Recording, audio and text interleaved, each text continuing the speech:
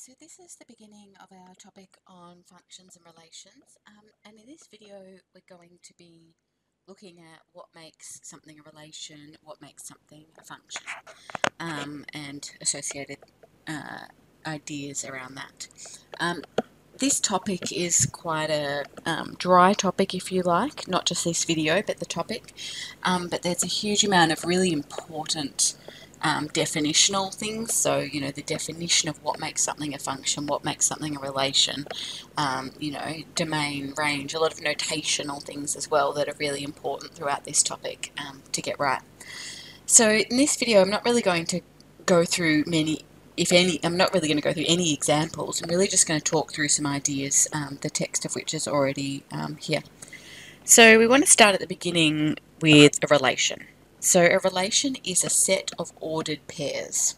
Okay, ordered pairs are coordinates, x, y. Okay, so that's an ordered pair. Okay, so a relation is a set of coordinates. So basically anything that you could draw on the Cartesian plane is a relation.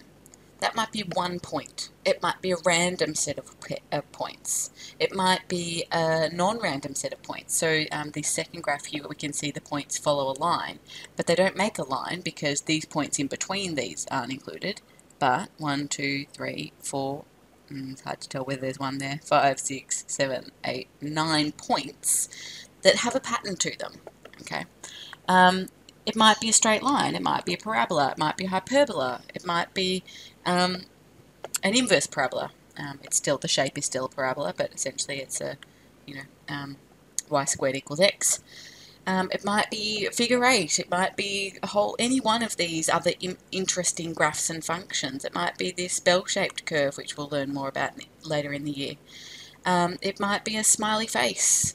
Uh, it might be a house, anything that you can draw on a Cartesian plane is a relation. Okay? So only some relations are functions. Let's have a look at, uh, oh no, before we do that, let's um, have a chat about categorizing relations. So there are four different types of relations. One-to-one -one relations, many-to-one relations, one-to-many relations, and many-to-many relations. Okay, when we have a look at this one-to-one, many-to-one, one-to-many, essentially this is the input and this is the output. We'll talk more about input and output of functions um, in a couple of videos time. So i.e. the x values, i.e. the y values. Okay, so what this one-to-one -one means is for every one piece of input, one x value, there is one only one y value.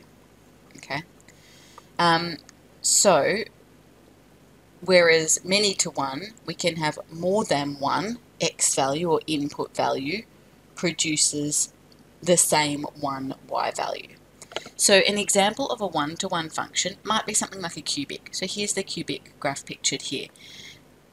If we choose any one x value, that x value produces just one unique y value. And that's true of whichever x value we choose. Okay, this x value up here produces one really big y value somewhere up here. This x value out here produces this one negative y value down here. If x is 0, y is 0. There is one unique y value to correspond with that one unique x value. Okay, it, the, the reverse is also true in a one-to-one -one function because it's for every one y value we also only get one x value. Okay, one piece of input corresponds to one, one unique piece of input corresponds to one unique piece of output. Um, so if you consider the relations on the previous page, which ones might be one-to-one? -one? Now, it's a slightly random selection of functions here, so it's not giving us a good range, but let's have a um, so a straight line would be a one-to-one -one function. Apologies, some of these axes have become a bit faint in the print. Um, so any one x value produces just one y value. Any one x value produces just one y value. Any one x value produces just one y value. Okay, and vice versa. So a line would be a one-to-one -one function. The hyperbola would be a one-to-one -one function. This one x value here produces just the one y value here. Okay, this one x value produces this one y value up here. This one x value, one y value. This one x value, just one y value. And again, any y value only matches with one x value. Okay, you could pick any y value and it would just produce one x value, or correspond to, or partner with one x value. Um, what else is here? Uh, I don't think any of these others would be one-to-one. -one. The the this particular example of a non-random set of points is one-to-one -one also because it's essentially straight just sum of the points on a straight line. Um, so for the same reasons that a straight line is a one-to-one -one function, that would also be a one-to-one function or a one-to-one relation. My apologies, we're talking about relations. We'll talk about um, which of those are functions in a minute. Um, so many-to-one relations mean that more than one input or, or x value can correspond to one unique y value.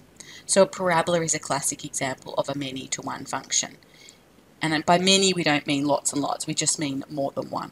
Okay. So here is here are more than one x values that both correspond to the same y value for this relation. So one y value, one um, output value corresponding to more than one input value. So, you know, thinking about, you know, the parabola, if this was negative 3 and this is positive 3, then this is 9, okay? There is more than one x value that corresponds to the same one y value, okay? Um, let's have a look on the previous page and have a look at what else might be many to one. I don't know that there's going to be many examples of that up here. Let's have a look. The random set of ordered pairs, unless we know exactly the randomness, we can't be sure of what kind they are at all. The parabola we know is many to one, so I'm going to note these. This was uh, one to one here. Sorry, one to one. This one was one to one. This is many to one. This is one-to-one. We already had that one. Uh, I don't think we've classified any of the others so far. Okay, other many to one. So more than one x value producing just the one unique y value.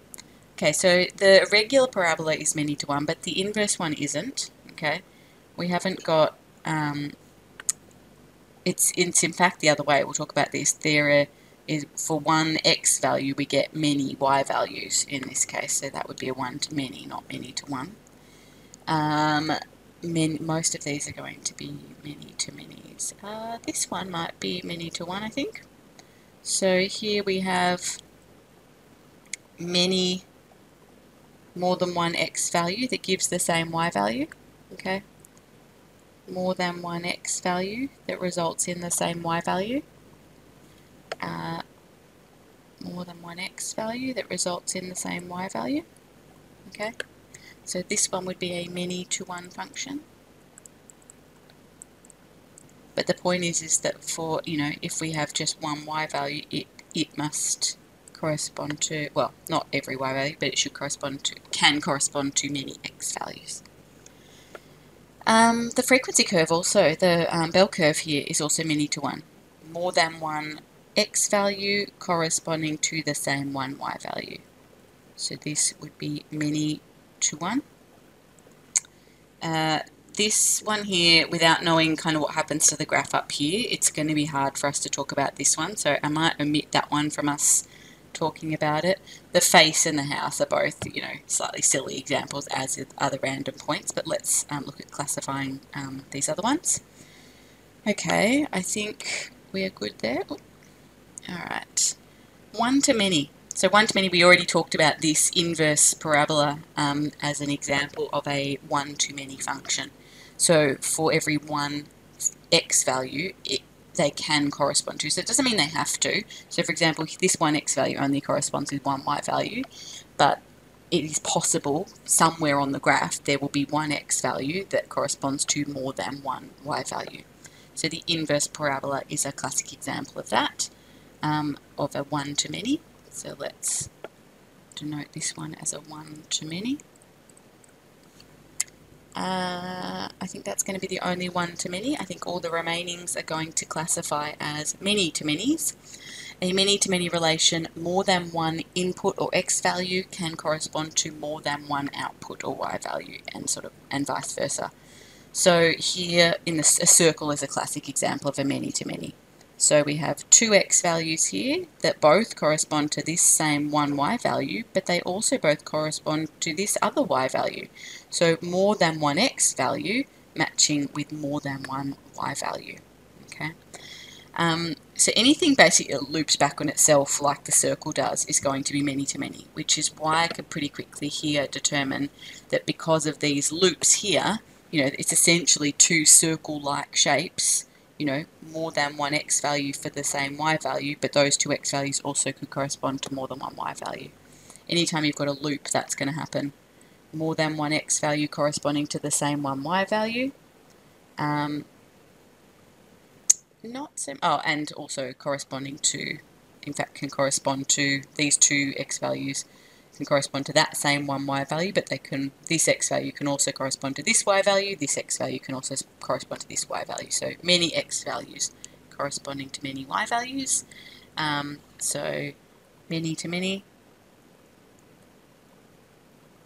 As I said really anything that loops back on itself can immediately be classified as many to many, and by that I mean sort of, you know, a variation on a circle, many to many. Uh, and similar here, we've got, you know, three small circle-like shapes there, many to many. The face would definitely be many to many, even though I ruled it out because it was a bit of a silly example. Um, and this cardioid sort of, you know, rounded heart shape on its side is similar to a circle as well. Also many to many. Uh, it's a bit hard without knowing too much about what this shape does up here. You know, does it loop up here? Does it continue on? Um, etc. But all the same, I, I suspect that that's probably a many-to-many function as well. Many-to-many relation, my apologies. So we're classifying our relations. Um, anything can be drawn on a Cartesian plane is a relation every single relation can be classified as one of four things. So I'm not saying that these couldn't be classified. They're really probably all many-to-manys. Um, it's just without sort of having a bit more precise information about what's actually going on in them. It can be, they're a bit um, slightly complicated examples. So every single class um, relation can be classified as one of these four things. But then only some of these relations are functions. So whilst anything that can be drawn on the Cartesian plane is a relation, only some relations are functions. A relation is only a function if no two ordered pairs, so no two sets of coordinates of the relation have the same first element, so the same x coordinate. So no two points on the relation, no two points on the graph can have the same x coordinate in order for it to be classified as a function.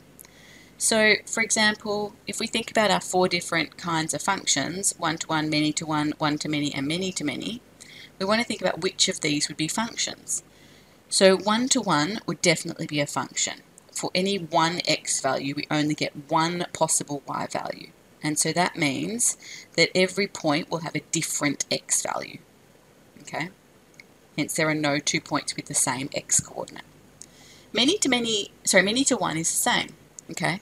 whilst more than one x value can correspond to the one y value, um, that's okay. But the, the point is, is that we wouldn't have any two points on here with the same x coordinate. We would have two points with the same y value. These two points, let's go back to that example. If that's 3, 9 and that's negative 3, 9, there's two points with the same y value, but that's okay. That doesn't stop them being a function. They have different x values, and every single point on that graph would have an, a different x value. Let's actually think about what would it look like for two points to have the same x coordinate. If two points had the same x coordinate, they would have to sit one above the other.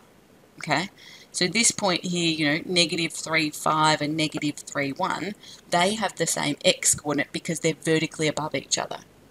Alright, so anything where you're not going to have any, you're not going to have points that are vertically above each other is going to be a function. So one-to-one -one and many-to-one both meet that category. One-to-many, however, doesn't. Here's a classic example of where we've got two points vertically above each other, which means that they have the same y um, the same x value. Sorry.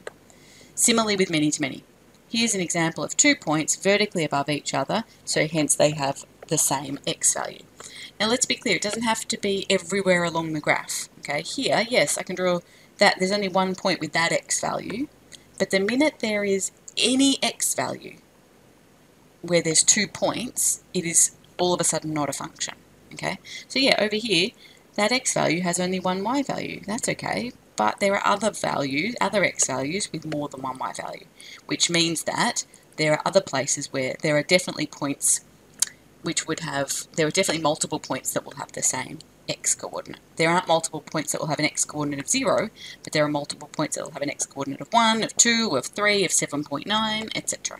Okay, So these two are not going to be functions. These two are going to be functions. So two classifications, two types of relations are going to be functions. There's a simple graphical test to help us determine whether or not a relation is a function. We actually really just did it then in talking through that definition of what would it mean for two points to have the same x value. And if two points had the same x value, that would mean they're vertically above each other. So therefore, this idea of the vertical line test can be used to graphically decide whether or not something is a function. So if you draw a vertical line and can swipe it the whole way across the graph, move it horizontally the whole way across the graph so that it only ever touches the graph once, then that graph must be a function, okay? So, for example, if we think about, you know, let's draw a vertical line here. Let's pretend that's vertical. Let's see if I can grab that line. And I imagine swiping that line across, if it only ever, like a barcode reader sort of, if it only ever touches the graph once, so if I can stop it anywhere, and it's only touching the graph at one point, so I'm sorry. So here for example then that's a function okay? If however it would it would hit the graph twice at any point doesn't have to be everywhere it also doesn't have to touch the graph at all. But if at any point it would touch the graph and I'm not saying over here it would be touching the graph the cubic would just be very very high up okay? But if I can if it touches the graph at any if there is any x value where it touches the graph twice then it's not a function Okay, so the parabola again, we can imagine swiping our vertical line along. It only ever intersects with the graph at one point at a time, and so therefore that's a function. Whereas the one-to-many, let me scroll up here a little, the one-to-many, if I swipe my vertical line across, it's fine here, just touches the graph once, but the minute I go past here, it's now hitting the graph twice. So that would mean that at this x value, there are two points with that x coordinate. There are two points with that x coordinate, etc. And the circle similarly fine here, just hitting the graph once, but the minute I go past here, I'm hitting the graph at two points. Okay, So not a function. So that vertical line test as a, a um, test for whether or not something is a function. So relations, anything you can draw on a Cartesian plane. Relations can be classified as four different types, one-to-one, one-to-many, many-to-one, many-to-many. Only some relations are functions, Okay, a function is a relation where no two points on the function have the same x coordinate. Um, the graphical test for that is a vertical line test, and only one-to-one and um, many-to-one relations would be functions. One-to-many and many-to-many would not be functions. Okay, just a couple of questions here to sort of practice those ideas, questions 1, 2 and 3 from exercise 1C.